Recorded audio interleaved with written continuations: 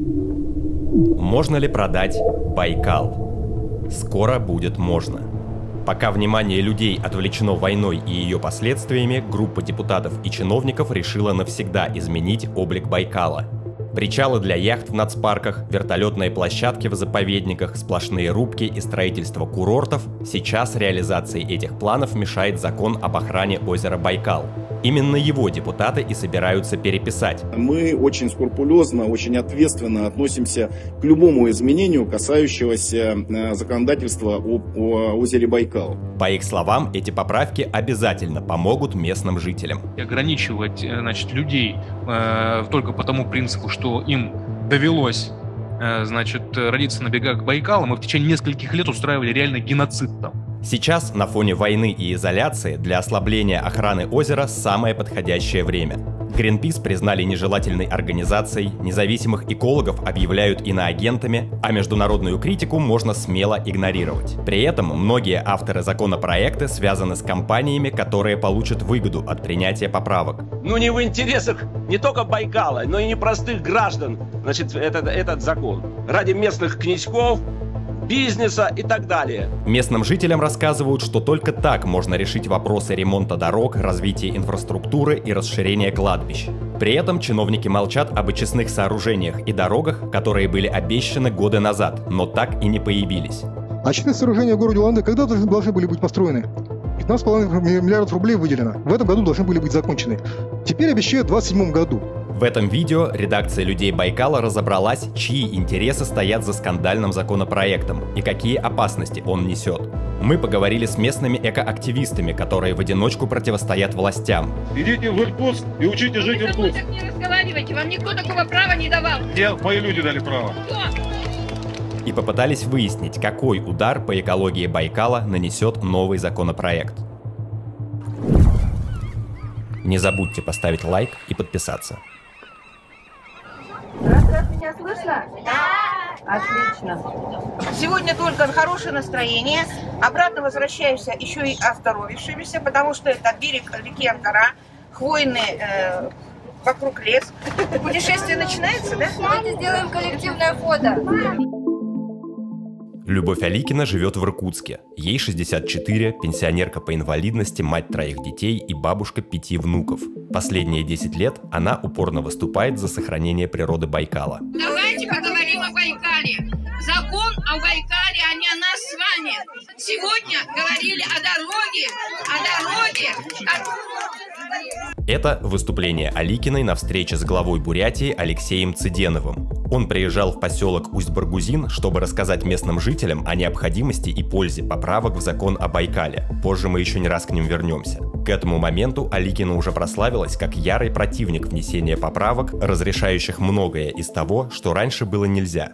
Сейчас Любовь Аликина едет с экскурсией в архитектурно-этнографический музей Тальцы. Он находится на берегу Ангары рядом с Байкалом. Здесь в качестве экспоната стоит ее родовой дом. А еще у власти есть планы и на эту прибайкальскую территорию. Строительство Байкальского курорта станет частью крупного проекта «Пять морей».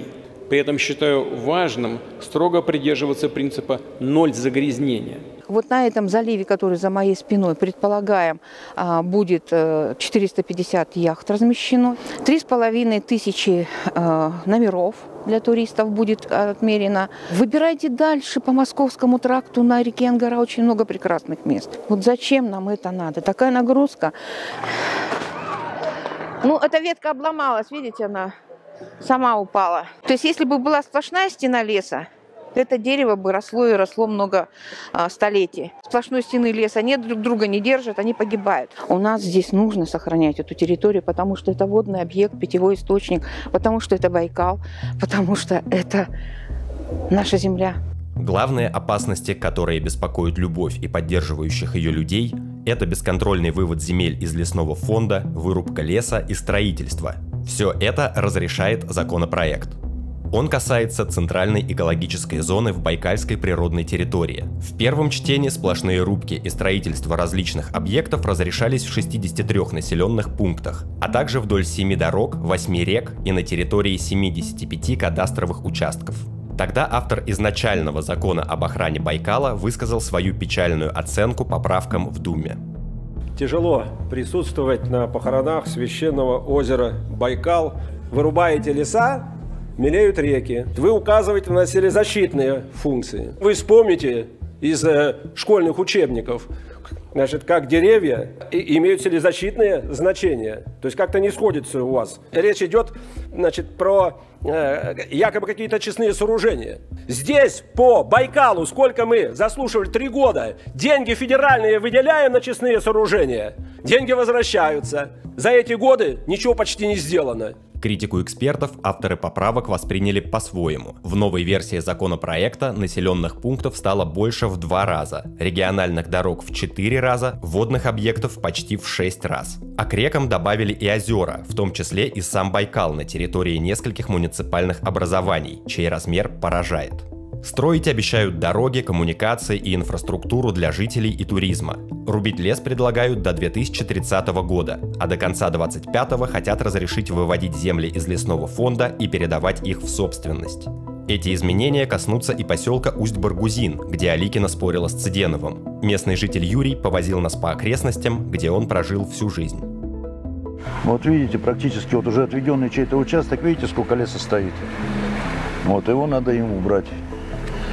Вот а для того, чтобы убрать, нужно сплошные рубки. Ну вот мы подошли к особо охраняемой территории. Забайкальский национальный парк. Граница его проходит здесь. Сплошные рубки для чего нужны? Это нужно для того, чтобы вот именно вот здесь, вот в этом месте построить гостиничные комплексы непосредственно вблизи берега Байкала. А как мы видим, тут все заросшее. Ну, мы члены Народного совета. Мы вот собрались, активная просто группа такая. Получилось, что Теперь лезем везде, куда не надо. Юрий познакомился с Аликиной в прошлом году и стал обращаться к ней по поводу нарушений, которые встречал в Усть-Баргузине. С проблемами своих районов многие жители региона обращаются к ней уже давно. Любовь Аликина стала известной экоактивисткой после выступления в Новоогарево на встрече с Путиным. И почему-то все считают, что леса много, и можно его уничтожать бесщадно. Уничтожается ежедневно. В том числе уничтожается черными лесорубами. После этого выступления Любовь стали приглашать на мероприятия, связанные с экологией Байкала. Приглашали ее как общественные организации, так и чиновники люди обо мне узнали, стали звонить, а так как у меня уже был опыт накопленный, что сначала нужно выехать на место, все проверить, точно ли э, было сказано местными людьми, что здесь есть какое-то нарушение. Масштабы вырубки поражают.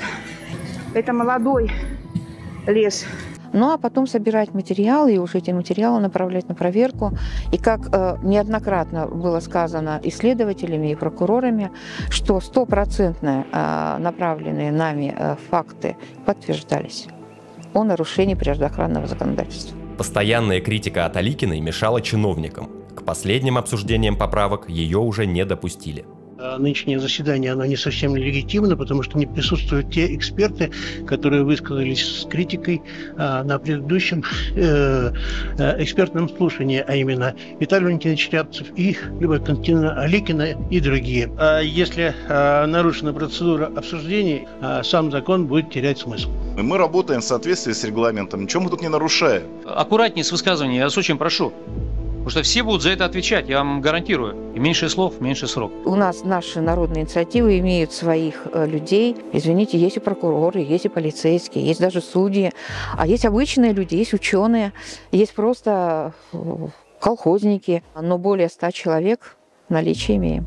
В 2023 году глава Бурятии Циденов провел серию встреч с жителями Прибайкалья в Бурятии. Он рассказывал, что закон об охране Байкала в текущем виде ущемляет права местных жителей, и именно из-за него к ним не проводят дорогу, запрещают рубить лес на дрова, расширять кладбища и строить другую инфраструктуру.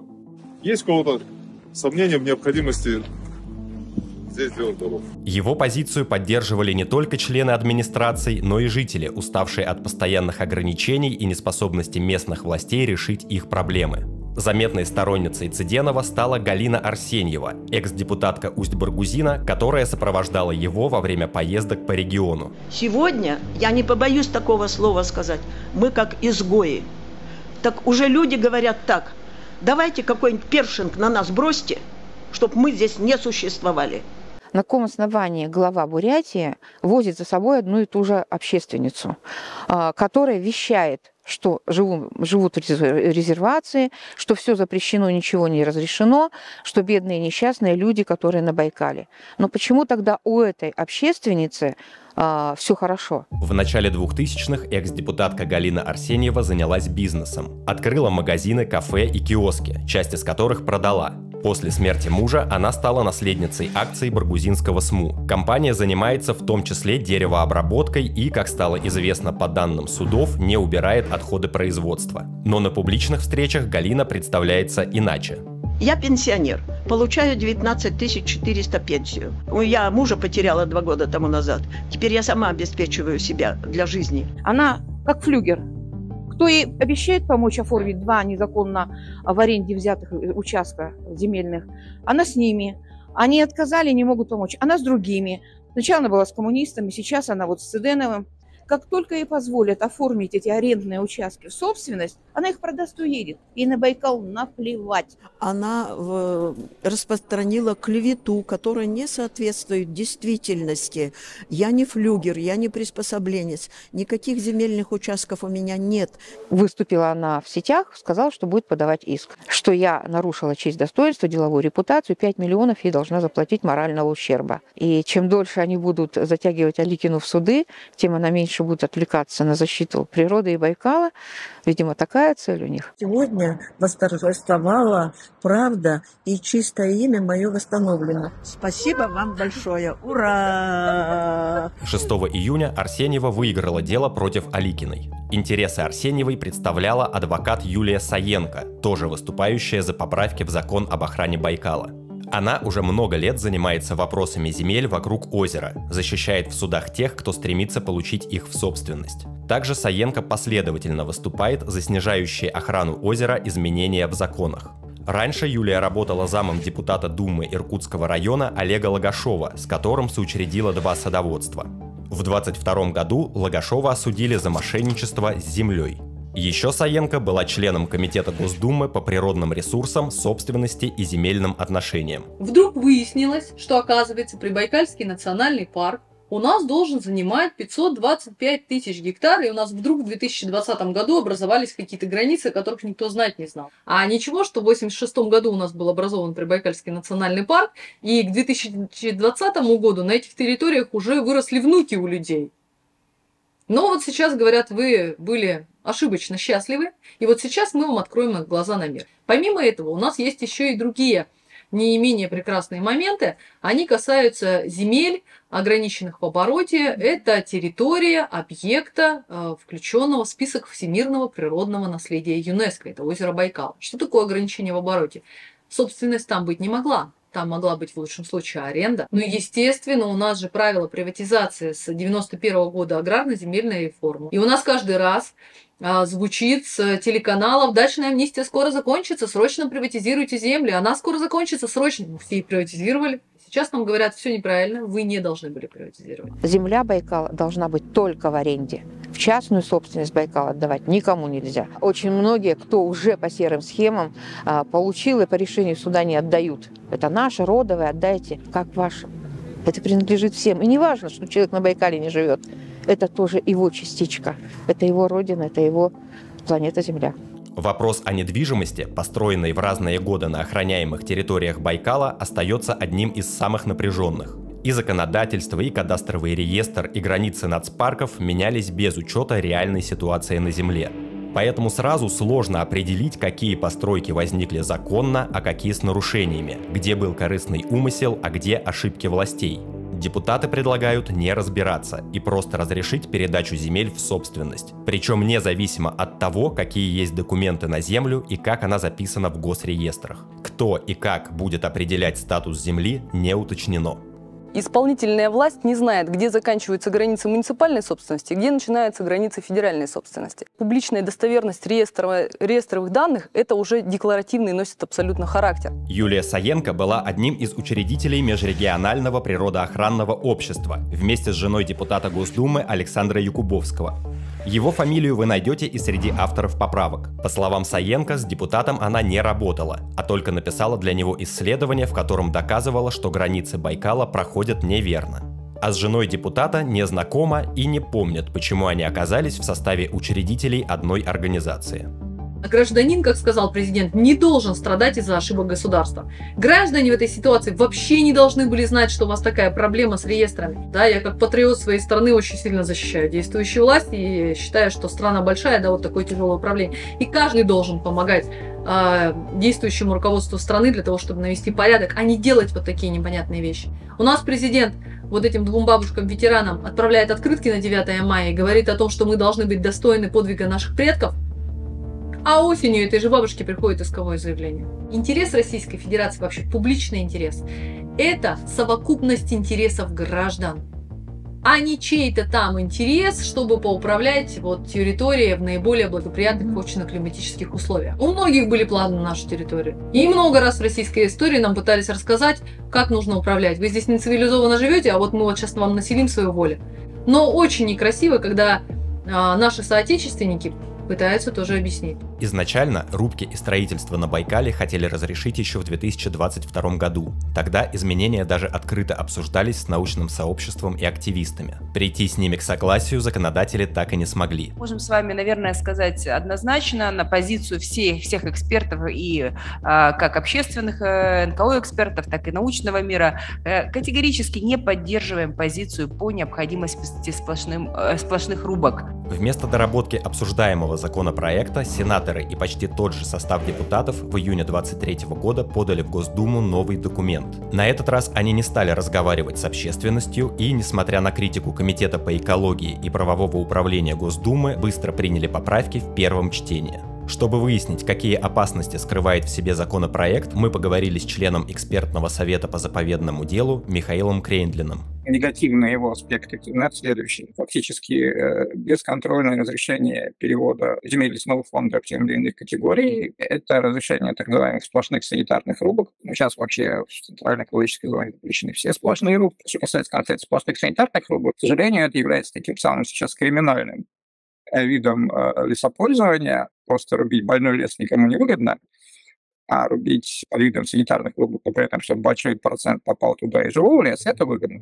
По версии Циденова и депутатов, выступающих за новый закон, главными выгодоприобретателями поправок станут местные жители. Но, выступая перед инвесторами в Москве два года назад, он обозначил и другие аспекты. Тысячи людей ежегодно приезжают, нет ничего, никакой инфраструктуры через полгода здесь появится правая основа для того, чтобы можно было строить. Бурятия это красиво, это интересно, это вкусно, это полезно, это безусловно выгодно. Люди Байкала изучили расследования об авторах поправок. Оказалось, что многие из них связаны с компаниями, которые зарабатывают на лесе, строительстве, недвижимости и туризме. Работали над этим документом 14 депутатов и 7 сенаторов. Сенатор Андрей Чернышов был одним из директоров компании Метем, которая строит в том числе дороги, и владельцем братского застройщика Энергопромстрой. Сказать, что я горд, ничего не сказать. Чувства переполняют а семья сенатора из Иркутской области Сергея Брилки владеет стройкомпанией «Офис Строй», а также имеет отношение к компаниям «Байкал Строй» и «Строймонтаж». Ну, что я вам хочу сказать? Может быть, это не совсем справедливо такое заявление. Его сын тоже занимается строительством и недвижимостью. Его компания «Бриком» регулярно выигрывает конкурсы на госконтракты. Правда, другие участники в конкурсах есть не всегда. Я знаю, как этого добиться и рассчитываю на вашу поддержку. Сам же сенатор Брилка еще и президент партнерства строителей, а раньше владел долей в Сигматек. Компания была замечена в незаконной вырубке леса и добыче ископаемых у Байкала. А за главой и бывшим участником Сигматек стоят компании, заинтересованные в строительстве железных дорог, туризме и даже добыче водных ресурсов и геологоразведке. Мы должны э, вывернуться как угодно. Семье депутата Сергея Тена принадлежит группа компаний «Труд», ставшая монополистом в сфере дорожного строительства в Иркутской области. Выручка компании в 2022 году превысила 10 миллиардов рублей. Поэтому это очень, я считаю, полезно. Семья депутата Красноштанова владеет одной из крупнейших строительных компаний в Иркутской области «Домстрой». Красноштанов построил. Знаю, верю, построит его вас. Наш выбор Красноштанов. Жена депутата Лугового, ярого борца с иноагентами и иммигрантами, является совладелицей братских электрических сетей. Ты должен немножко посидеть в тюрьме, ты должен лишиться своей квартиры. А уже знакомый нам Александр Якубовский через жену связан с Байкальской строительной и девелоперской группой. Он сам владел ей до того, как стал депутатом в 2018 году. Только таким образом мы можем привлекать достаточно серьезные средства. Также с его компанией связан иркутский предприниматель Михаил Курский, за которым стоят компании, торгующие лесом, стройматериалами и древесным углем. Вопросы экологии Якубовского тоже сильно волнуют. Именно он был инициатором запрета Greenpeace в России.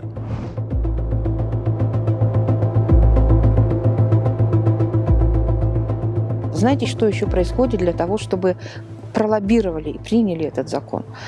В Бурятии сегодня проблема с дровами а там печное отопление. Нежилые дома, которые люди оставили внутри населенных пунктов, в том числе и Баргузин районного центра, распиливают и топятся ими, потому что дров нет.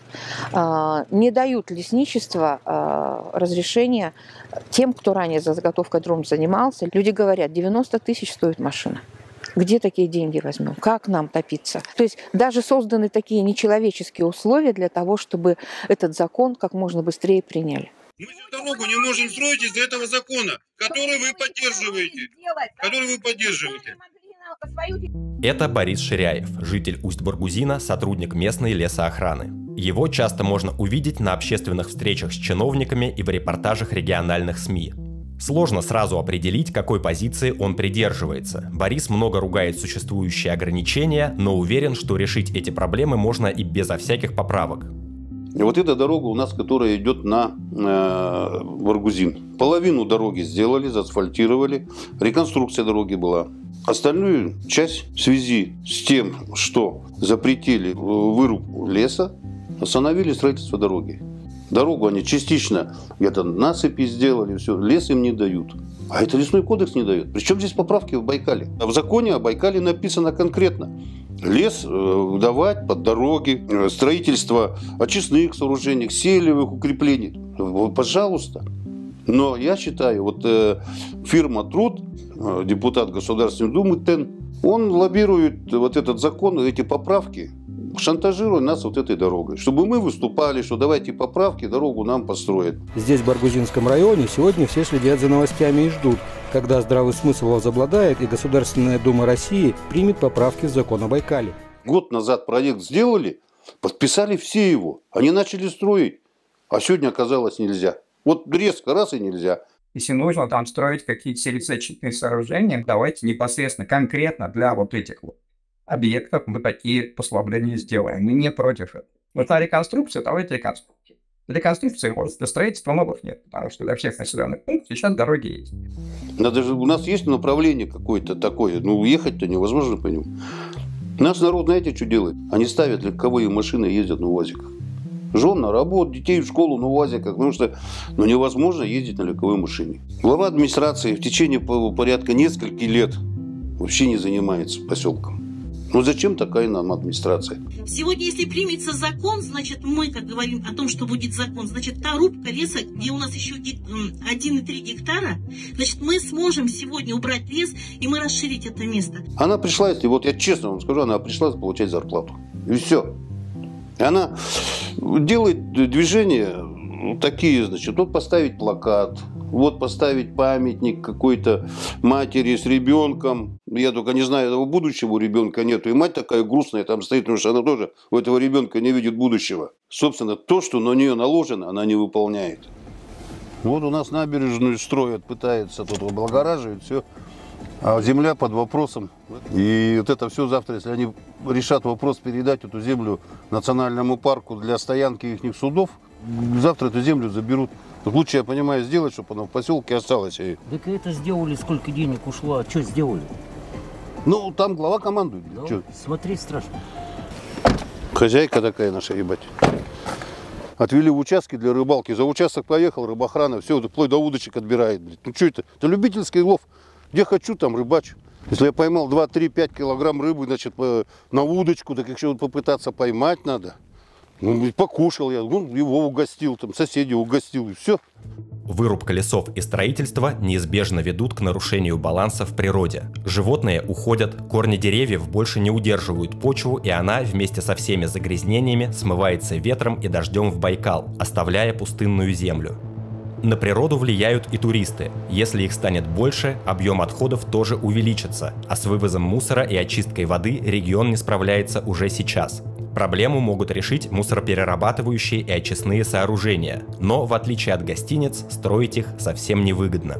В лучшем случае для Байкала нужно сделать закрыть Байкал для посещения туристов и решить все проблемы, которые сегодня у нас есть. И ни в коем случае не принимать ослабляющие законы, наоборот, вести жесткий режим. У меня был один знакомый, американец. И какой-то момент он должен был приехать в Россию, он говорит, говорит, я не приеду. Я, что случилось-то? А меня, говорит, очередь подошла. Я, говорит, там давным-давно записался на сплав на парке Гранд Каньон. Знаешь, что говорит, я ждал этой очереди? Я говорю, сколько? Он говорит, 12 лет. Если, говорит, я сейчас не пройду, пропущу очередь, я, наверное, уже просто не попаду туда в свою жизнь. Вот у них так. Сначала наведем порядок, а, поставим, а, даже пусть это будет частный отель, но при этом а, налогообложение повышенное, природоохранное, санитарное законодательство, все стоки, включая дренажные, ливневые, отходы, собираешь, вывозишь. Не можешь, собирай свое строение и уходи. Мы не говорим, что вообще никак не надо модернизировать законодательство Байкала. Точечно надо. Кинозерский национальный парк в Архангельской области. И природные территории, и историко-культурный объект. Там, там все очень хорошо отрегулировано, все сохраняется. И Байкальский нас парк местные жители там хотят уничтожить, то Кинозерский нас парк, они на него молятся, хотя ситуация законодательства абсолютно одинаковая. Но тут вопрос действительно желания, политической воли, а самое главное, чтобы те, кто хотел, хотели реально что-то сделать, а не получить там добиться прибыли, короткой прибыли и потом свалить.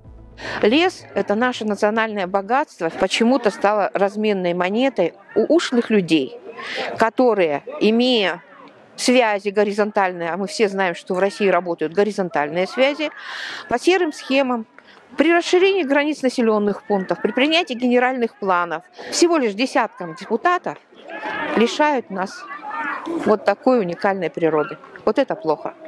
Это творится у нас в лесах. Она бьется одна практически с этим совсем. Все стараются заткнуть рот ей, заткнуть рот нам, чтобы мы не лезли не в свои дела. Ведь мы же прекрасно понимаем, что вот это все, это деньги. Мы не даем кому-то зарабатывать денег. Но какие это деньги? Какой ценой эти деньги заработают? Мы понимаем, что надо туризм развивать, но вы развивайте сначала очистные сооружения, всю инфраструктуру сделайте. Зачем этот лес вырубать? Не надо. Но если вам так надо, сделайте автобусы, возите их вот сюда же, на этот берег. Три километра от поселка-то можно провести по асфальту. Тогда и лес будет целый, и люди будут довольны, и местное население будет работать. Давайте защищ... защитим наш Байкал. Нас как вот практика уже показала, они услышали. Время прошло. И сейчас, если мы с вами требовать будем о снятии данного законопроекта с рассмотрения, то у нас получится. На протяжении последнего года депутаты и сенаторы работали над законопроектом ко второму чтению. При этом общественности и экспертам на обсуждение и внесение предложений дали всего неделю. Текст крайне непроработанный. Имеются ошибки терминологические, имеются ошибки в нумерации пунктов. Юридическая техника как будто отсутствует. Такое ощущение, вот год работали, а не почитали до конца внимательно. Хотя Любовь и другие противники законопроекта не были допущены к обсуждениям, избежать критики поправок не удалось текущей версии законопроекта, которые, в которых мы видим коррупциогенные факторы, в котором видим риски для экосистемы озера Байкал. И мы считаем, что данная версия законопроекта не должна приниматься. Мы всякое будем писать здесь, да, но аппетиты, которые появились, видимо, в связи с тем, что бизнес уже а, настроен на туризм, но, видимо, это уже безостановочно. Законопроект, который сейчас представлен, он фактически создает э, механизм, который позволяет за счет уничтожения леса переводить земли в э, другие категории. Данные земельные участки предоставляются для строительства кладбищ, потом что-то было изменено, и там уже не кладбища появились, а какие-то коттеджные поселки. Я сказал, что присутствую, присутствую на похоронах озера Байкал. У меня это ощущение осталось. Жаль Байкал. Обычно мы стараемся заканчивать наши видео чем-то обнадеживающим, даже если сам сюжет совсем не оптимистичен. Но в этот раз не получилось. Байкал один. А примеров того, как власти принимали поспешные и разрушительные решения в пользу личной выгоды, тысячи. Хочется верить, что к следующему чтению поправки в закон об охране озера Байкал будут отклонены, а законодатели прислушаются к мнению ученых и активистов потому что накопившиеся за десятилетия проблемы невозможно решить одним документом, тем более если его текст не обсуждается с общественностью. Сейчас мы наблюдаем, как маленькая группа заинтересованных людей хочет навсегда изменить внешний вид Байкала и его экосистему, сохранением которой люди занимались десятилетиями. Ведь на фоне войны, международной изоляции и санкций сделать это значительно проще. Можно признать нежелательной организацией Greenpeace, можно игнорировать критику ЮНЕСКО, как и других международных организаций, а несогласных сограждан объявить предателями. Развитие таких земель, как побережье Байкала, не может быть легкой задачей с простым решением. Это долгий и дорогой процесс, где каждая конкретная проблема должна решаться индивидуально. Это требует очень много ресурсов и последовательной работы, но для этого есть и исключительная причина – сам Байкал с его невероятной природой. Уникальное озеро, о котором знают во всем мире. И сейчас нам бы следовало вкладывать силы и ресурсы для его восстановления и сохранения, вместо того, чтобы стараться получить как можно больше денег с каждого метра его побережья.